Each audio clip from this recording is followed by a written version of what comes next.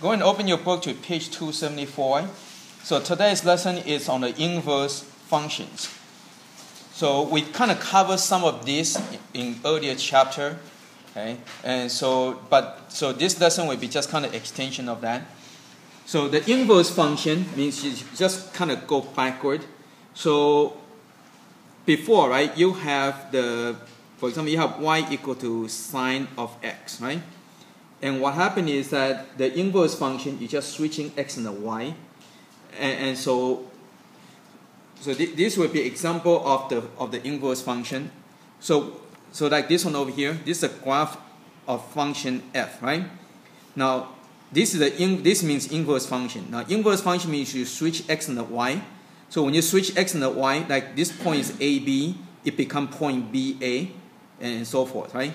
And so so what happens is that if you switch every point, okay, then you end up with this graph. And so basically what you do is when you have inverse function, basically you're just flipping it over. That's all you're doing. Okay? Imagine that this is the mirror over here. So your original graph is the blue, and your inverse function means you switch x and y on every single point. And when you do that and you graph that, you end up with this, with this uh, pink graph. And so what happens is that basically what you do is you flip things over. Just, just imagine you have a mirror over here and you have the, the mirror image. Okay? So same thing over here. If you look on this graph over here, when you have original, so this is the, the, uh, the quadratic equation, right? You graph. And again, when you switch x and y, it flips over like this. Okay? Now, what happens is that when you have inverse function, when you flip it over, this no longer become a function. Because remember, in order to be a function, you cannot have more than one value, right? You have to, you have to pass the vertical line test. So like this over here, when it touches more than one point, then this is not a function. So to make a function, you need to go and have a restriction. So now you have to limit it. Okay, you have to limit part into part of it. So instead of having the whole graph, you're just going to have this graph over here. So when you flip over, it will be like this. So that way, it will still pass the, the vertical line test. So, you, so it will be a function. So again, right now, with this function, when you flip it over, this is not a function anymore. It does not pass the test. Okay? And so therefore, you have to restrict it. This one is not a problem. This one, you flip it over, when you, when you do this, it's still okay. But on certain functions, you cannot. Okay? And so that's what happened with, with, the, with the sine function. Like this one over here. See, this is the sine function. So when you make it into an inverse, it becomes like this. And so it will not pass the, the test because, see, it, it touches more than one point. And so what happened with, with, the, with, with the trig function is that, so this is a sine function. So when you, so when you flip over, so what they're going to do is they, they restrict they, they kind of just using the quadrant 1 and quadrant 4. Okay, they just use this portion of it. So that way, when they flip over, okay, when they flip over, it would be still kind of okay. Okay, so that's what they're doing. So that's kind of the, the reason behind that. So that's what this is, this is, this is what it's doing. So they kind of just chop off rest of the graph. So they just use this portion so that way, when they flip over, it becomes this part. So that it still is a function. Okay. So for inverse function, there's a restriction. Okay. For sine function, the to make into an inverse function, you have to only go from negative pi over two to pi over two. So that's just something to be aware of. Okay. And so when you when you have the the function, right? Normally you have the quadrant one, two, three, and 4, right? So quadrant 1 is positive. So this is good for all the inverse function. So inverse function, you're going to get two quadrants. One positive and one negative. Okay? So for sine, the sine, so for sine function, you have to use quadrant 1, right? Every, every function use quadrant 1 because it's a positive. Then for sine function, you have to think, okay, what quadrant so you're going to get one quadrant for positive, one quadrant for negative. So quadrant one is always positive. So for sine, okay, you, you, you have quadrant one for positive. Then next you have to think, okay, what quadrant, you never ever use quadrant three, never ever, okay? So it's going to be quadrant one and one of these two quadrants for negative. Well, sine, to get negative sine, you need to use quadrant 4, right? So, so, so, so inverse sine will use quadrant 1 and 4.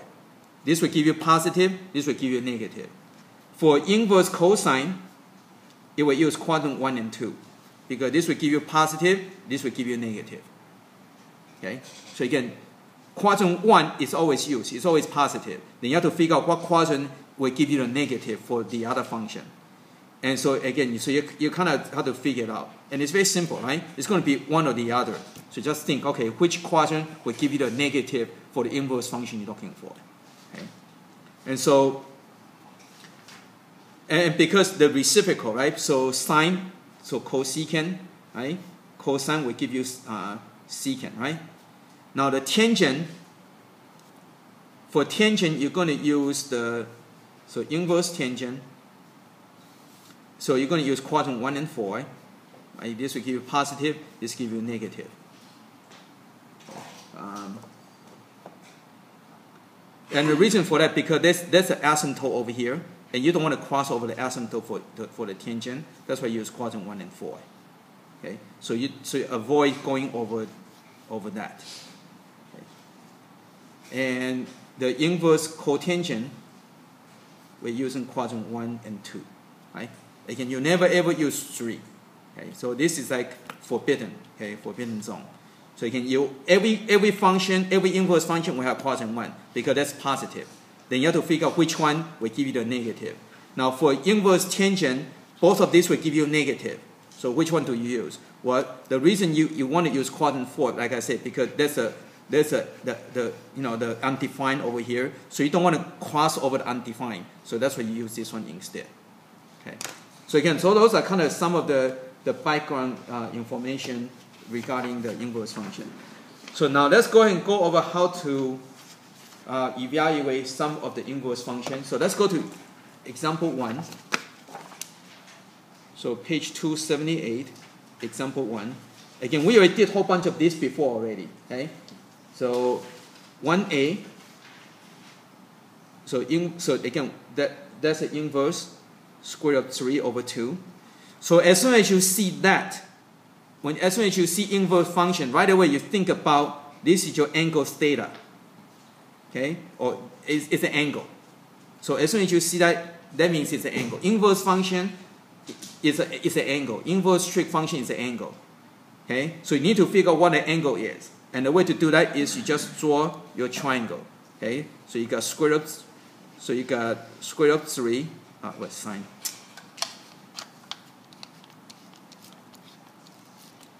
Okay. So this is a sine function. So it be square root 3, 2, right?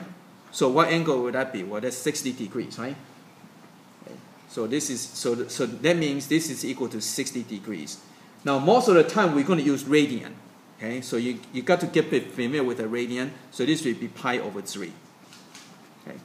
So again, inverse function is, a, is an angle. So as soon as you see that, think of it as an angle. And now there are many ways of writing these. Okay? So another way of writing the, the inverse function this way is called arc sine.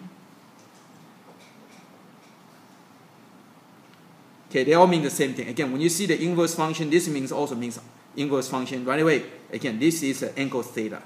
Okay, so you can draw your picture. So it's going to be negative 1 over 2.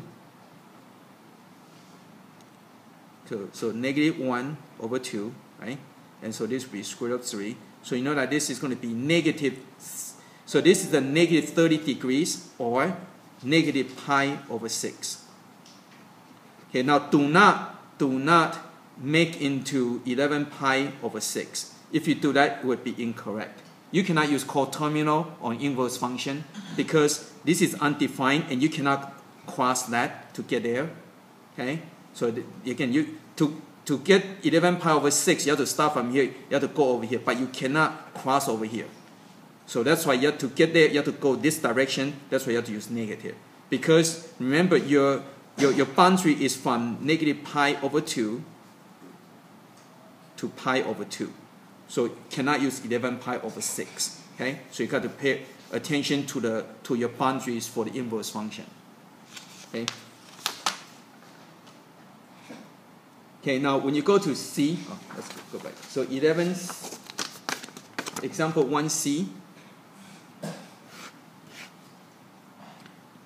Yeah, sine of uh, inverse sine of sine of 1.2 radian. Again, there's no circle, means it's radian.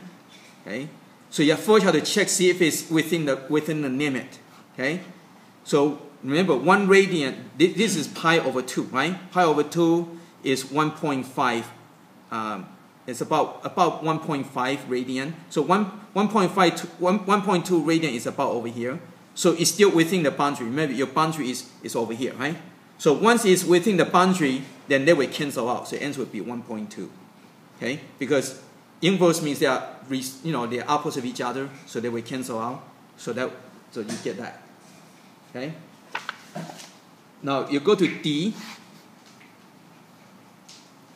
Cosine of sine inverse sine of 3 over 2, right? So again, this is your angle theta or angle. So I'm going to call it theta. So basically you're looking for theta. So let's go ahead and do that. So, so 2 over 3. So vertical is 2. Uh, so that's 2 over 3. And this would be square root of 5. Okay? And that's your theta. So now you're looking at cosine of that. So cosine of that, right? Cosine theta, cosine of that so you can use that to get your get your triangle. So cosine of this angle, so cosine of that is going to be square root of 5 over 3. Okay? So again, we did this before. It just right now it's just using the different term, right? You're using the, the you using this. Okay? But again, we did this before, so it's not that bad. Okay, now let's go and do the E.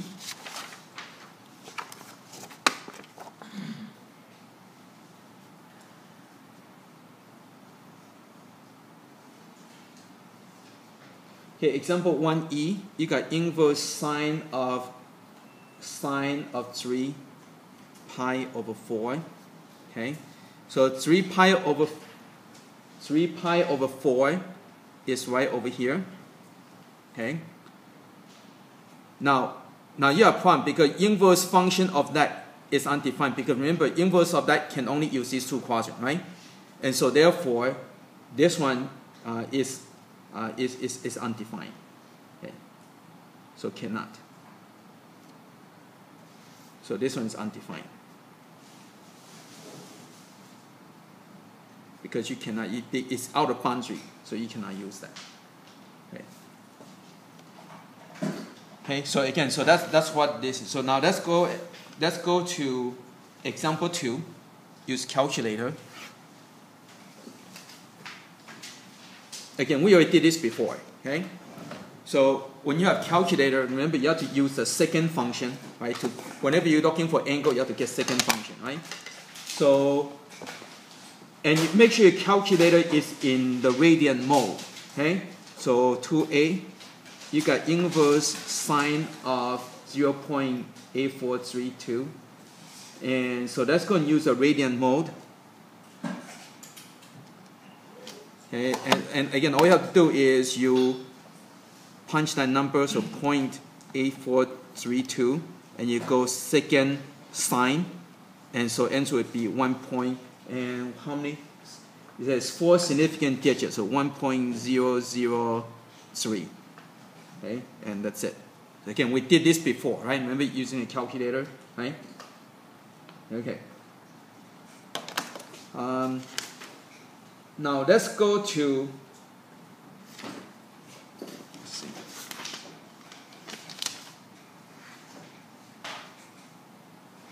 Okay, so I think we covered enough to do the assignment. So that, that's going to do some practice.